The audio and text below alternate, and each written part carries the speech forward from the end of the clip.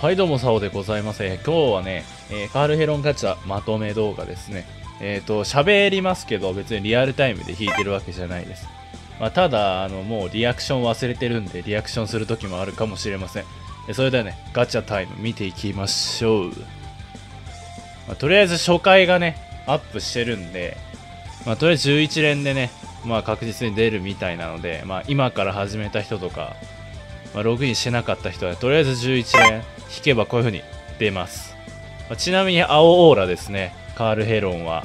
まあ、非常に強いので、まあ、今回絞られている、まあ、間違いなくこのガチャ分、この動画分を引き切った僕には言えるんですけど、まあ、今回はカールに好かれてないですね。まあ、20連透かしましたと。えー、で、30連目。まあ、これね、アップデートの日に引いてます。雪は増幅ルーンでございますと。はい。おね、SP もね、結構貫突してきちゃいましたので、多分、僕ぐらいやってる人だと大体貫突しちゃってると思うので、まあ、なんかすごい時代になってきましたよね。一般キャラですら喜んでた時代が懐かしい。そしてユキが2体目、もう増幅ルーン。まあ、ユキはね、実装 1, 1週間も経たないぐらいでね、貫突しましたもんね。あの、配布も多かったですね。6体ぐらい配布してましたもんね。ただ鬼畜ダンジョンでしたけど、あれは。まあ、6体配るからにはみたいなとこありましたね。いや、いいんだよ。ユキはいいんですけど、カールヘロンが、まあ、本当に出ないと。はい。まあまあまあまあ、3回もやったんで、ここもやんないのは当然と。40連目かな。ちょっとためらいましたね、引くの。はい、カールヘロン2体目です。まあ、ここまでは良かったですよね。まあ、これ、なんとなく、まあ、ああ、じゃあ、オルリーの時みたいに弾けるんじゃねえかみたいなとこありました、実際は。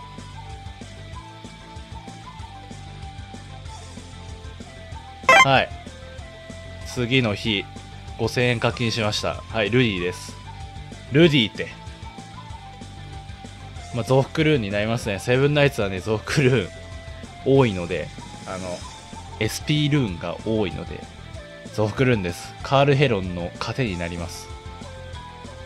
ね、そして金率がね、最近危うい、そして一括引き、はい、出ませんでした。また次の日ですね。メイボックスで毎日ちまちま引いていくと。まあ、それをね、iPhone の録画で撮ってます。手先でガチャ引けるようになりましたね。まあ、あんま、セブンナイツのガチャ出さなかった理由は、めちゃくちゃ引いてるんですけど、どんなゲームより。あの、外で引いちゃうからね。ガチャ欲に負けて。そして出ないと。てか、ナタがね、怪しいんで、ナタ取っといた方がいいっすよ。あのね、グローバル版で地獄級、甲状腺地獄級？ヘル、あ、クラハン出ましたね。はい、増幅ルーンです。あのー、グロ版でヘルが出てるので、地獄級。ナタ覚醒したら多分適正になるんじゃねえかなって。ジェイクより。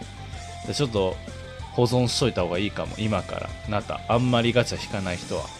ナタあんま見かけないしね、最近。はい。金率の圧倒的低さ。で、この後ちょっと用事あるんで多分ほとんど編集してないと思います。申し訳ないです。あの、カールヘロンの運営、運用については、あの、下のリンクに貼ってあるんで、昨日の動画見てください。あセット装備わかんない人も見てください。あセット装備めちゃくちゃ詳しくなってるんだよ。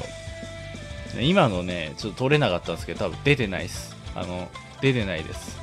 あ、これだ、これだ。一緒ですね。ビクトリア、紅白、銀閣、ラニア、ある、ジュフィー。まあ、真ん中はい、これね、ラストなんですけど 筋率悪すぎて、うわーって引いてます。はい。ということでね、えっ、ー、と、100、てか200連ぐらい引いてるんですよ。